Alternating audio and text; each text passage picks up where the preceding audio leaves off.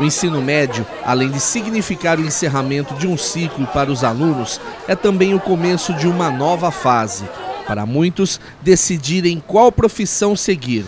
É nessa hora que as dúvidas surgem, mas a Prefeitura de Araras dá uma ajudinha e realiza a partir de hoje, quarta-feira, dia 13, a segunda edição da FEPRARA, Feira das Profissões de Araras, que vai auxiliar gratuitamente os estudantes de Araras e região com informações, demonstrações e palestras sobre os cursos e o mercado de trabalho mais um ano de aprendizado e informação para os nossos alunos. O nosso foco são para os alunos de oitavos e nonos anos e ensino médio, para que aqui eles possam ter informações, que carreira seguir, aqueles que já têm definidas né, essas carreiras, como eles podem ser inseridos no mercado de trabalho após o término da graduação. Então aqui com nossas 23 instituições presentes, eles poderão cada, aproveitar e aprimorar o conhecimento.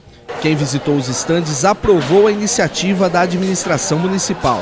Eu acho importante para as pessoas poderem conhecer os trabalhos e ter informações para poder saber o que segue, para ter um bom desempenho na vida. Eu acho importante para você saber um pouco sobre as profissões, para você poder saber como você vai, qual é, cargo você vai seguir, para você ter um interesse. Os visitantes têm acesso aos estandes até sexta-feira, dia 15, em três horários, como explica a secretária.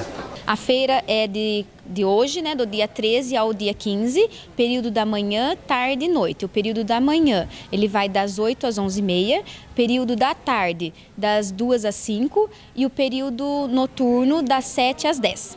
O prefeito em exercício Carlos Alberto Jacovetti esteve presente e comentou que o futuro do país está nas mãos dessa garotada.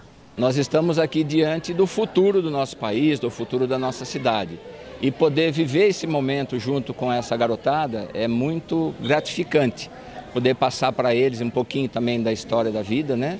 Que cada um deles pode vir a ser o que quiser. Só depende da iniciativa e da vontade de trabalhar.